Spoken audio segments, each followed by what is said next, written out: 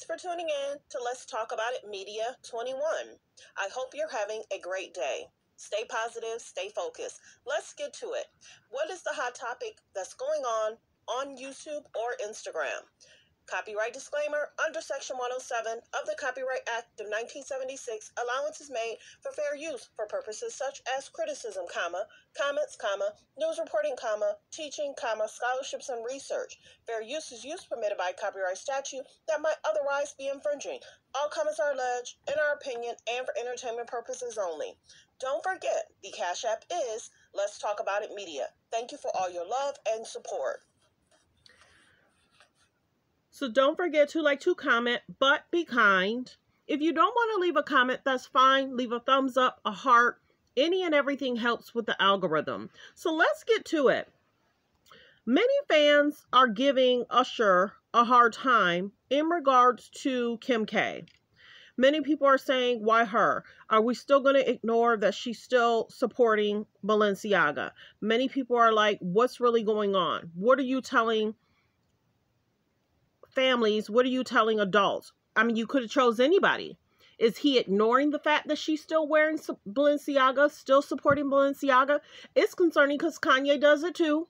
And anytime Kanye and Bianca do it, I talk about Kanye and Bianca as well. So many people are like, we're surprised, Usher. You could have chose anybody. Kelly. You could have chose um Beyonce. And see, the shady part of TMZ, they also said that these groups won't be headlining with Usher. I'll do a video on that later. But yeah, many people are like, why Kim? Why why why help the K's and the J's? They already love media attention, clicks, and views. And then people are like, okay, she overshine you for you doing the Super Bowl, don't get mad. Because what I noticed, chilling with fam, today Sunday football, I come in, I wake up late. And I come in and I realize that this Usher thing's going on. I was like, oh, that's cool, Usher. And then I hear Kim voice. People were like, no, Usher, no.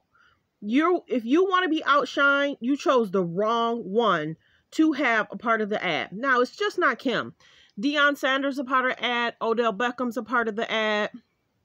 Um, what is somebody whoever's beast mode is a part of the ad. But people were kind of like, Usher, you could have chose anybody of your own race or culture. And that's that's when you think about it, I feel that too. You know, why not choose somebody that's not so problematic? Many people are like, you know, that's what they were basically saying. Why choose somebody that has and that still supports Balenciaga? Was he not thinking about it? Was he not you know, asking, is she still, what's her brand, you know, supporting? What is she doing out and about? What are fans saying?